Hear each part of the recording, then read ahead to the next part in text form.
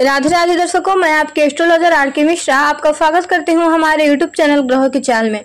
दर्शकों, आज हम बात करने वाले हैं मिथुन राशि के लिए कैसा रहने वाला है अक्टूबर का महीना, उनके love life married life career शिक्षा या फिर प्रेम प्यार को लेकर। यदि आप हमारे चैनल पर नए नए हैं तो हमारे चैनल को सब्सक्राइब करिएगा, वीडियो पसंद आते हैं तो लाइक करिएगा। यदि आपके मन में कोई सवाल है, ग्रहों से जुड़ा हुआ, ज्योतिष से जुड़ा हुआ या फिर अपने love life married life career से जुड़ा हुआ। तो हमारे कमेंट बॉक्स में हर टैग एस्ट्रो आर के मिश्रा लगाकर आप अपना प्रश्न पूछ सकते हैं। चलिए बढ़ते हैं विषय वस्तु की ओर। उससे पहले हम आपको बताना चाहेंगे कि हमारे द्वारा दी गई जानकारी चंद्र राशि यानी कि मून साइन के अनुसार दी जाती है। यदि आपको अपनी चंद्र राशि पता है, तभी हमारे द्वारा दी गई भविष्यवाणी देखें एवं सुने। चलिए बढ़ते हैं और बात करते हैं सबसे पहले मिथुन राशि के स्वास्थ्य कैसा रहेगा अक्टूबर के महीने में। दर्शकों, जब बात आती है स्वास्थ्य की इम्यूनिटी सिस्टम की तो फ़र्स्ट हाउस यानी कि प्रथम भाव को देखा जाता है।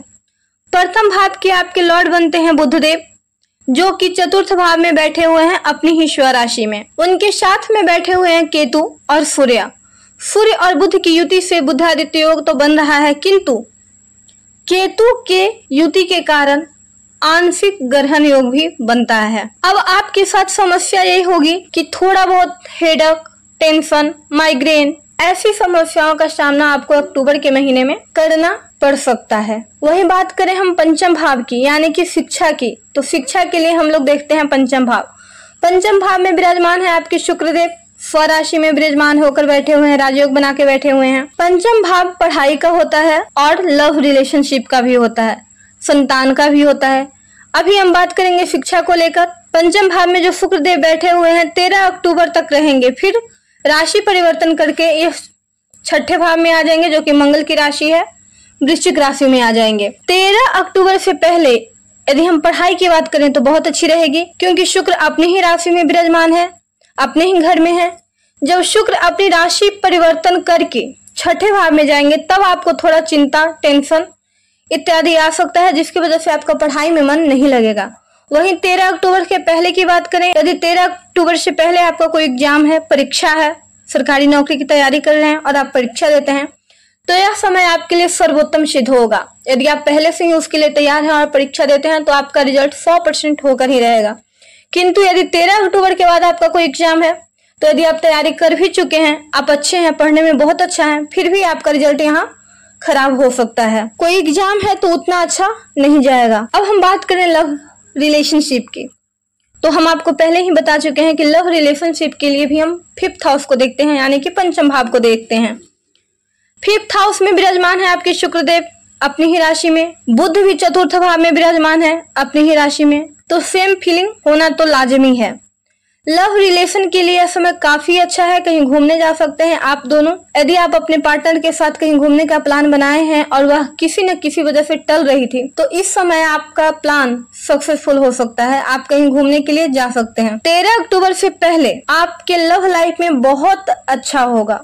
आप दोनों अपने पार्टनर को लेकर आपकी जितनी इच्छाएँ हैं, सारी पूरी होंगी। किंतु तेरह अक्टूबर के बाद आपको अपने पार्टनर में थोड़ी बहुत बुराई दिखनी शुरू हो जाएगी। वो होगा शुक्र के राशि परिवर्तन की वजह से, क्योंकि शुक्र छठे भाव में चले जाएँगे, मंगल की राशि में चले जाएँगे, वृश्चिक राशि में जाएँगे, और मंगल सेनापति हैं ग्रहों के, उनमें क्रोध, अहंकार इत्यादि ज़्यादा पाया जाता है। बात करें मैरिड लाइफ की, यदि आप मिथुन राशि के जातक हैं तो मैरिड लाइफ कैसा रहेगा अक्टूबर के महीने में, चलिए जानते हैं। वैदिक ज्योतिष शास्त्र में मैरिड लाइफ के लिए देखा जाता है सेवेंथ हाउस सातवें भाव को और बारहवें भाव को।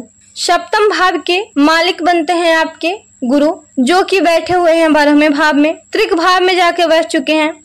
तो अच्छा नहीं कहा जा सकता है। आपका पार्टनर, उनका स्वास्थ्य खराब हो सकता है। थोड़ी थोड़ी सी बात में चिड़चिड़े हो सकते हैं। अस्टमक से रिलेटेड समस्या उनको हो सकती है, गैस इत्यादि का प्रॉब्लम उनको आ सकता है। जिसकी वजह से आपके प्लान यदि आप दोनों डेट पे जाने वाले थे डिनर के लिए निकलने वाले थे तो उनकी तबीयत खराब होने की वजह से आपका प्लान रद्द हो सकता है। बात करें करियर बिज़नेस और भाग्य की, कैसा रहेगा अक्टूबर के महीने में? भाग्य में शनि है और शनि है तो मनी है। तो बहुत अच्छा भाग्य कहा जा सकता है। भाग्य के मालिक फराफी में विराजमान है, जो कि बहुत अच्छा माना जाता है। यदि आप कोई नया काम शुरू करना चाहते हैं तो उसके लिए भी समय काफ़ी अच्छा है। शनि बकरी है, इसलिए चौदह नवंबर के बाद ही कोई बड़ा काम आप शुरू कर सकते हैं। चौदह नवंबर से पहले यदि आप कोई बड़ा काम शुरू करते हैं तो हो सकता है कि छोटा मोटा नुकसान आपको सहना पड़ जाए।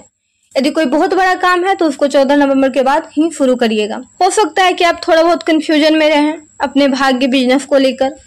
राहु का यहाँ होना दशम भाव में आपको कंफ्यूजन भ्रम, शंका ऐसी समस्या को दे सकता है। हो सकता है कि आप बोलेंगे, ज़्यादा काम कम करेंगे। बातों पे आप बातूनी हो सकते हैं, लेकिन काम पर ध्यान आपका बहुत कम रहेगा। स्थिति यह बनेगी कि जब राहु परिवर्तन लाते हैं तो बहुत अच्छा लाते हैं। टेंथ में है तो कुछ ना कुछ अच्छा तो आपको देंगे ही देंगे। कुछ ना कुछ परिवर्तन तो देते हैं, लेकिन मन में भी बहुत बदलाव दे सकते हैं। हो सकता है कि आप जिस काम को कर रहे हैं, उस काम को करने की इच्छा आपकी ना हो। उस काम को छोड़कर आप कुछ और करना चाहें। आपको ऐसा लगेगा कि इस काम में हमको तो कुछ फ़ायदा हो ही नहीं रहा है। इस कारण से आपके मन में कुछ भ्रम की स्थितियाँ बनेगी। इनकम के लिहाज से अच्छा समय है। यदि आप कहीं इन्वेस्ट करना चाहते हैं तो उसके लिए भी समय अच्छा कहा जा सकता है। मिथुन राशि वालों को यह सलाह दी जाती है कि आप लोग गुरु के बीज मंत्र, ओम ग्राम ग्रीम गुरुवाय नमः का मंत्र जाप करें। इससे आपके लाइफ में छोटी मोटी जो समस्या आने वाली है, वह समाप्त होगी। तो दर्शकों, ये थी हमारे द्वारा दी गई जानकारी। मिथुन राशि फल अक्टूबर 2024 कैसा लगा आपको? ज़रूर बताइएगा।